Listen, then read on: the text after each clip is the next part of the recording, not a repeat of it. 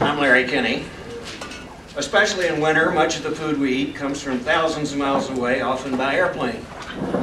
Food destined for such long journeys must be produced for travel, a process that favors neither excellence of taste nor quality of nutrition. The alternative is to raise food in cold months in greenhouses. Unhappily, conventional greenhouses like this hoop house require large quantities of energy to keep the soil, soil warm. Thus, oil can be used for flying food over long distances or for keeping inefficient greenhouses from freezing plants. Neither option is sustainable. We must do better. Indeed, we've recently proven that we can. This slide shows a thousand square foot research greenhouse my colleagues and I built at the Cure Organic Farm on 75th and Valmont with funding from the Colorado Department of Agriculture.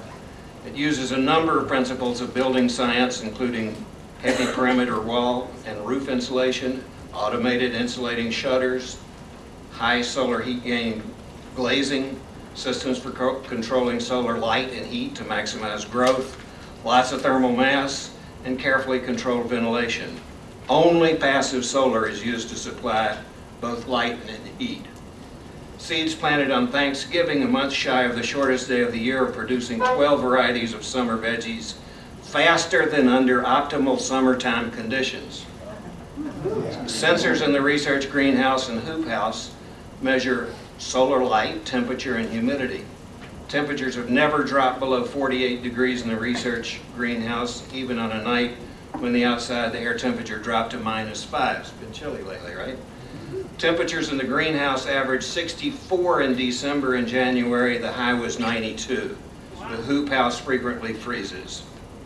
The technology can be employed in a range of greenhouses. These include attached units that supply heat, as well as food a few steps from the kitchen, to large commercial units that produce fresh food all year round. All sizes without photovoltaics, net zero or better with them. Thank you so much.